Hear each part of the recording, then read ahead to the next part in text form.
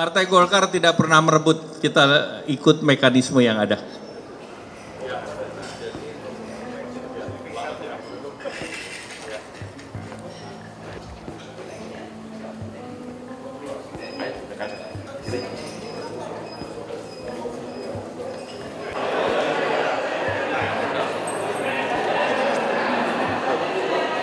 Dengan banyaknya suara Golkar ini, apakah Golkar juga mengincar DPR satu ini?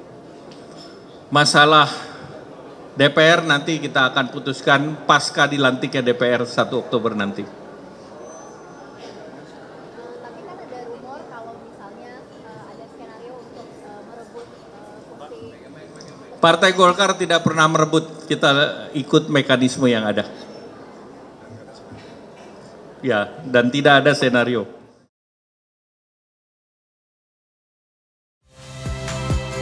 Saya Nitya Anissa, saksikan program-program Kompas TV melalui siaran digital, pay TV, dan media streaming lainnya. Kompas TV, independen, terpercaya.